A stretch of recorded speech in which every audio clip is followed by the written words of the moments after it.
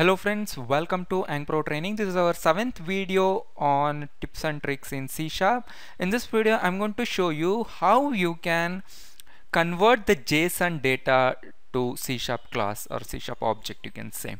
So JSON stands for JavaScript Object Notation which is the uh, normal uh, data encoding format in these days which is normally uh, replacing the XML data. So this is the normal data format that we can find on the internet uh, where most of the servers are storing the data in the form of JSON. So in this class I'm going to show you how you can download the JSON data uh, from internet resources and how you can convert it into your native C Sharp object so you have to create a C sharp class for that and you're going to create the properties for the C sharp class which resembles the JSON fields.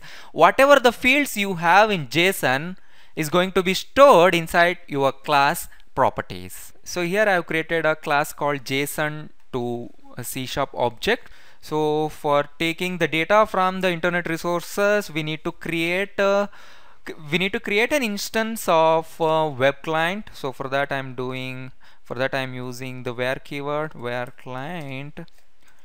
So just add the namespace. Yes. So I have to have this system.net now I'm going to declare one more variable called text which uh, which is going to store the JSON data downloaded from the internet.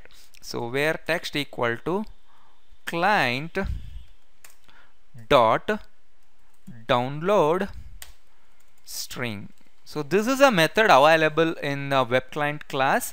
So this is going to uh, communicate with the server that I give inside here as the string format. So to download the data I'm using this website json placeholder.typicode.com slash posts. Here you can find the numerous uh, JSON objects. So for that so for this instance I'm just taking one slash 1 gives you uh, only one JSON data. So this is the JSON data with user ID 1 ID 1 title this thing and body right? So I'm just copying this URL and I'm putting inside here. So download string method will go to this site and take the uh, data whatever it will collect from here and store it in the text. Okay let's run this control F5 okay so this is my output whatever I got there in the website right? Okay so now what I have to do? So I'm just removing this. So I have to create a class which resembles all the fields in the JSON data. So I need to create a class with these properties. So how to create a class with these properties? I'm just using the shortcut key I'm just copying this JSON data and I'm going to uh, the website called json to c sharp.com. So this site will quickly convert the JSON or URL to the class. Right? Click hit on the generate. So here you get the class. So just copy this. Copy. Go back here and now create a new class here. Add a class okay and I'll call this as post. Right click add. So now I've got this so just replace this with the data I copied. This is posts right? So this I've created the class okay? So which resembles the object JSON object right? Now what to do now so there is a JSON framework which is for .NET. Let's go and download that. Right click here and uh, click on manage NuGet packages. Just browse for that. Newtonsoft. Yes, here it is. Just ins install this. So this is the uh, JSON uh, framework which is available for .NET, right?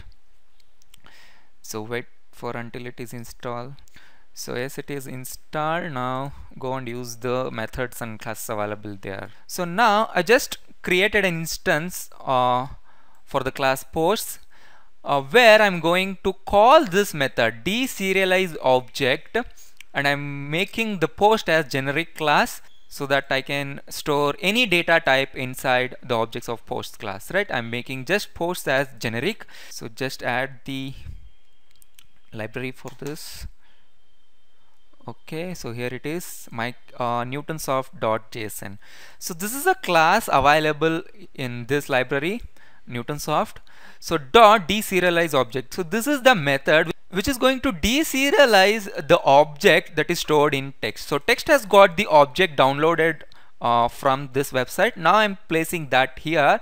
So this is going to deserialize it and store it in the post. Now I'm going to print it. So I'm using console.writeline so I'm just printing all the fields there in that object. Just copy this and paste here. User ID equal to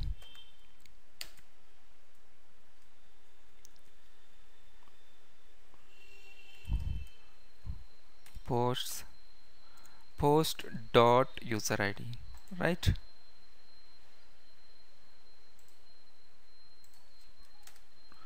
Okay. And copy paste paste paste right?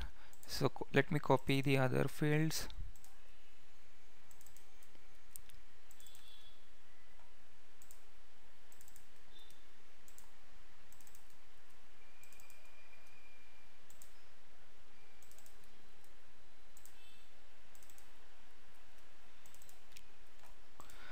So save this. Let's run this. Control F5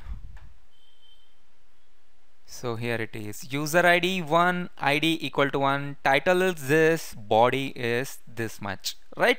So we have successfully converted the JSON object to our C sharp class.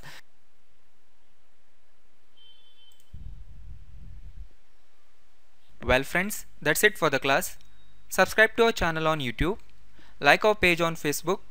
Follow us on Twitter and join our group on LinkedIn. Thank you.